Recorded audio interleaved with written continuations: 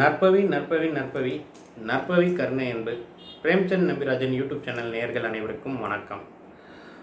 நீண்ட நாட்களுக்கு பிறகு நம்முடைய யூடியூப் சேனலில் இனி மேற்கொண்டு நிறைய வீடியோஸ் போடலான்ட்டு இருக்கிறேன்.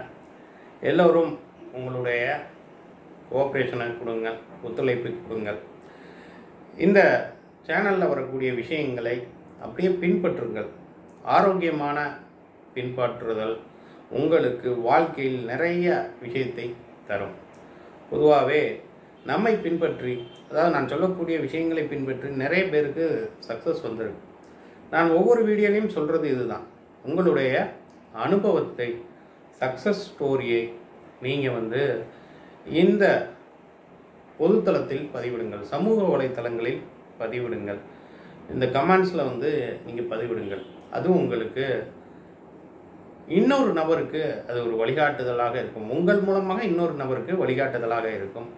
எனவே இப்பொழுது நாம் பார்க்க போவது மிக முக்கியமான விஷயம்.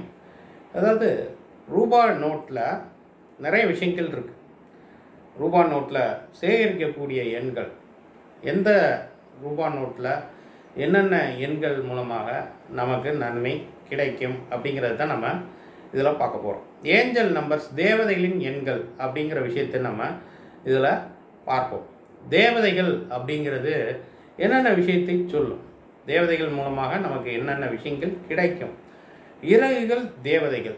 இது நம்ம நிறைய சொல்லியிருக்கிறோம். மேகங்களில் உங்களுக்கு தேவதைகளின் காட்சிகள் கிடைக்கும். நீரில் தேவதைகள் காட்சிகள் கிடைக்கும். கனவில் தேவதைகள் காட்சிகள் கிடைக்கும். அதே மாதிரி எண்கள் வண்டி நம்பர்ஸ்லலாம் வந்து அந்த ஃபேன்சி நம்பர்லாமே தேவதைகள் எண்கள் தான். ஏஞ்சல் நம்பர்ஸ் தான். Triple one triple two triple three triple four triple five triple six triple seven triple eight triple nine triple zero double zero double one double one double zero இது மாதிரி ரூபா நோட்லலாம் நீங்கள் சேர்க்க ஆரம்பிக்க வேண்டும். ரூபா நோட்டில் நீங்கள் சேர்க்க ஆரம்பித்து விட்டீர்கள் என்றால் தேவதைகளின் எண்களை நீங்கள் சேர்க்க ஆரம்பித்து விட்டீர்கள் என்றால் கண்டிப்பாக உங்களிடம் பணம் தங்கும். அஷ்லட்சுமி கடாட்சம் கிடைக்கும். ஐஸ்வர்யம் பெருகும். பொதுவாகவே வந்து எல்லோருக்குமே வந்து பணம் என்பது தேவையான ஒன்று. பணம் இல்லைன்னா நம்மளை யாருமே மதிக்க மாட்டாங்க. அந்த காலத்தில் வந்து ஒரு படத்தில் வந்து கூட டிஎஸ் பழையார் சொல்வார் பணம் இல்லையே நீர் பிணம்.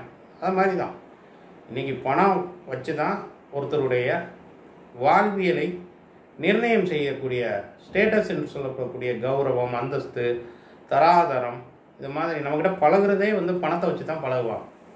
யார் ஒருத்தனும் வந்து பணக்காரனை பார்த்தாலே பயப்படுவான். ஏன்னா வந்து அவன் பணம் வச்சுருக்கான் என்ன வேணால் பண்ணுவான் அப்படிங்கிற இதெல்லாம் இப்போ சமூகத்தில் பரவலாக இருக்கக்கூடிய ஒன்று.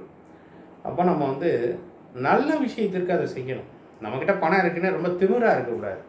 நம்மக்கிட்ட பணம் இருக்குன்னு யாரையும் நாம் வந்து ஓட்டு பார்க்கணும்னு நினைக்கக்கூடாது. அடுத்தவன்ட்ட பணம் இருக்குன்னு நாம் பொறாமப்படக்கூடாது. நம்மக்கிட்ட பணம் இல்லையேன்னு வருத்தப்படக்கூடாது. வருத்தப்படுவதும் நமக்கு திரும்ப திரும்ப வருத்தப்பட வைக்கும். பிரபஞ்சத்தில் நிறைய விஷயங்கள் இருக்கின்றது. சீக்ரெட்ஸ் பிரபஞ்ச ரகசியம் சிதம்பர ரகசியம் இந்த மாதிரியான விஷயங்கள் எல்லாமே இதெல்லாம் வந்து அம்பலம் என்றே சொல்லப்பட வேண்டியது. அதாவது பொன்னம்பல ரகசியம் சிதம்பர ரகசியம்னு சொல்லுவாங்க.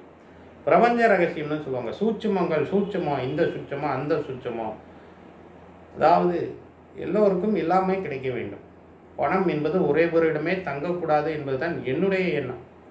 நான் அதைத்தான் நிறைய பேருக்கு சொல்லி கொடுத்துட்ருக்கின்றேன் நாம் எடுக்கக்கூடிய வகுப்புகள் நிறைய பேருக்கு வந்து வாழ்வியலை பரிசீலிக்கக்கூடியதாக இருக்குது எப்படி வாழணும் எப்படி பேசணும் பேசுகிறதுலேயே நிறைய விஷயங்கள் இருக்குது என்கிட்ட பணம் இல்லை இல்லைன்னே சொல்லக்கூடாது.